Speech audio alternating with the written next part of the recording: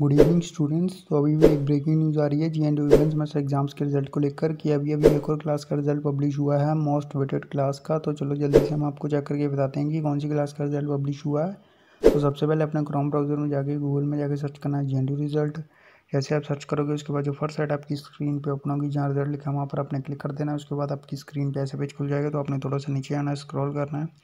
Result वाली section में जाके सेमेस्टर सिस्टम न्यू जाने का, वहाँ पर आपने क्लिक कर देना है, उसके बाद आप फाइनल रिज़ल्ट वाली पेज पे पहुँचोगे तो सबसे पहले अपने ईयर पे क्लिक करना है दो हज़ार चौबीस को सिलेक्ट कर लेना मंथ पे क्लिक करना है मई को सिलेक्ट कर लेना है कोस्टर पे क्लिक करना है सी बी एस को सिलेक्ट कर लेना है उसके बाद अपने सिलेक्ट क्लास पे क्लिक करना। है और यहाँ पर आपको सभी क्लासेस होने लग पाएँगी जिन जिन क्लासेस का इवेंट में का रिज़ल्ट पब्लिश हो चुका है तो अभी अभी जिस क्लास का रिज़ल्ट आया वो है B A honours social science तो सिंपली अपने यहाँ पर क्लिक करना है उसके बाद सिलेक्ट सेमेस्टर पे अपने क्लिक करना और ये अपनी स्क्रीन पे देख सकते हो।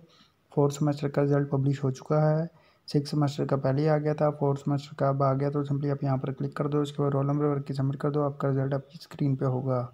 ऑल दी बेस्ट सभी स्टूडेंट्स को, उम्मीद है कि आप सबका रिज़ल्ट बहुत ही अच्छा है और सभी स्टूडेंट्स पास होंगे। तो जैसे ही किसी और क्लास का या फिर किसी सेमेस्टर का रिज़ल्ट आता तो हम आपको बता देंगे। तब तक इस वीडियो को लाइक कर दो, शेयर कर दो, चैनल सब्सक्राइब कर दो और बेल आइकन ज़रूर प्रेस कर देना। Thank you.